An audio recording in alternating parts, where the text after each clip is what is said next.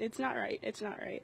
Samantha Lilly was putting her baby to bed when she heard a gunshot in her Buckeye neighborhood early Sunday morning. My little baby shouldn't have to deal with that. Detectives say there was a group of people outside when a fight broke out. The suspect, who hasn't been identified, reportedly pulled out a gun and shot Brendan Valenzuela. It's really crazy. Um, we've had like a lot of activity lately, and these kids, I don't understand how they're getting guns. Detectives say the suspect took off, and another person drove Valenzuela to a nearby home and called 911.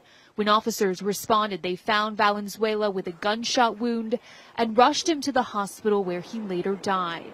It's terrible. This shouldn't have happened. Lilly and other neighbors say they're concerned about the rise in gun violence and fear for their own kids. There needs to needs to be more focus on kids and the mental health and and people need to start taking better control of how they handle and use their guns.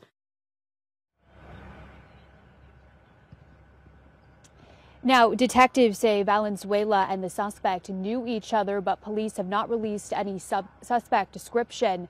If you know anything about this shooting, you should contact Buckeye Police. Reporting live in Buckeye, Emma Lockhart for Arizona's Family. Emma, thank you. Developing